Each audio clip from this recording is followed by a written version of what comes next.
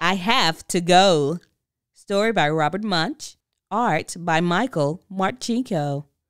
And creatively read aloud by me, T. One day, Andrew's mother and father were taking him to see his grandma and grandpa.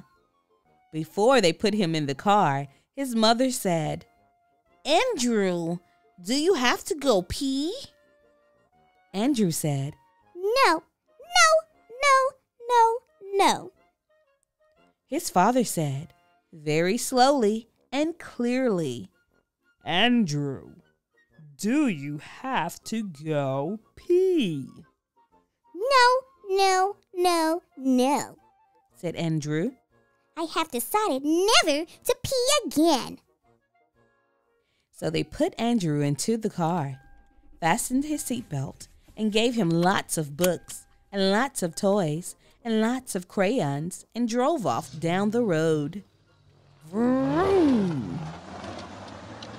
They had been driving for just one minute when Andrew yelled, I have to go pee. Yikes! said the father. Oh no, said the mother. Then the father said, Now, Andrew, wait just five minutes. And in five minutes, we will come to a gas station where you can go pee. Andrew said, I have to go pee right now. So the mother stopped the car, and Andrew jumped out of the car and peed behind a bush. When they got to Grandma's and Grandpa's house, Andrew wanted to go out to play. It was snowing, and he needed a snowsuit. Before they put on the snowsuit, the mother and the father and the grandma and the grandpa all said, Andrew, do you have to go pee? Andrew said, No, no, no, no, no. So they put on Andrew's snowsuit. It had five zippers, 10 buckles, and 17 snaps. It took them half an hour to get the snowsuit on. Andrew walked out into the backyard, threw one snowball, and yelled. I have to go pee. The father and the mother and the grandma and the grandpa all ran outside, got Andrew out of the snowsuit, and carried him to the bathroom. When Andrew came back down, they had a nice long dinner. Then it was time for Andrew to go to bed. Before they put Andrew into bed, the mother and the father and the grandma and the grandpa all said, Andrew, do you have to go pee? Andrew said, No, no, no, no, no.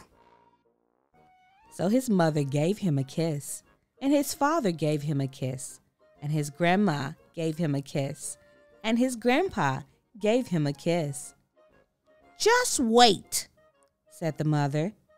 He's going to yell and say he has to go pee, Oh, said the father. he does it every night.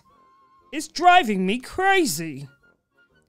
The grandmother said, I never had these problems with my children. They waited for five minutes, ten minutes, fifteen minutes, twenty minutes. The father said, I think he is asleep. The mother said, Yes, I think he is asleep. The grandmother said, He is definitely asleep, and he didn't yell and say he had to go pee. Then Andrew said, I wet my bed. So the mother and the father and the grandma and the grandpa all changed Andrew's bed, Andrew's pajamas. Then the mother gave him a kiss, and the father gave him a kiss, and the grandma gave him a kiss, and the grandpa gave him a kiss, and the grown ups all went downstairs. They waited five minutes, ten minutes, fifteen minutes, 20 minutes. And from upstairs, Andrew yelled, Grandpa, do you have to go pee? and Grandpa said, Why? Yes, I think I do. Andrew said, Well, so do I. So they both went to the bathroom and peed in the toilet.